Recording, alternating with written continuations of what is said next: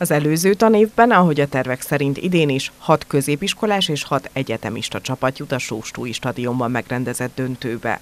Ez lesz a harmadik ilyen vetélkedő. Korábban intelligens hangrendszert kellett tervezniük a fiataloknak, de olyan is volt, amikor az autóba kellett olyan szerkezetet alkotni, amely a vezetőt segíti.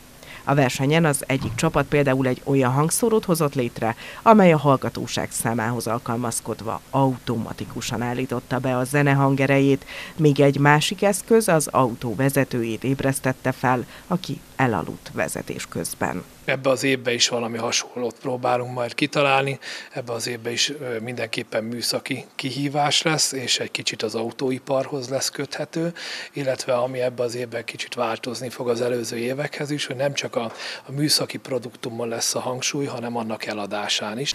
Az első fordulóban egy videós feladatot kell teljesíteniük a csapatoknak, a döntőben pedig az autóiparhoz kapcsolódó fejlesztést kell majd megvalósítaniuk. A város alpolgármestere hangsúlyozta, a Harman társadalmi felelősségvállalásban nagyon erős. Olyan kreatív lehetőséget biztosít a fiatalok számára, amelyben eh, nem eh, elméleti tudásról kell tanúbizonyságot tenni, hanem igenis nagyon komoly gyakorlati és kreatív lehetőség ez számukra. Most már két alkalmon túl vagyunk, nagyon érdekes megoldásokkal jönnek a fiatalok, és hát látható eredménye is van ilyen értelemben, hiszen már többen az Óbudi Egyetem abban régen műszaki karán eh, tanulnak már azon fiatalok közül, akik az elmúlt két évben eh, pedig középiskolásként eh, jöttek a versenyre.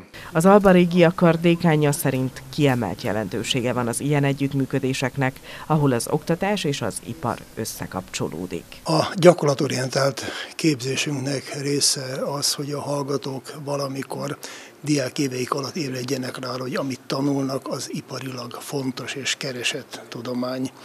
Egy ilyen vetélkedő is ezt a megközelítést erősíti, és a hallgatók az itt kapott feladatok révén ébrednek rá, hogy érdemes megtanulni azt, amit talán kevésbé érdekes módon, de mindenképpen fontosnak tart az egyetem megtanítani. A verseny jelentkezési feltételeit még a nyáron közzéteszik a szervezők.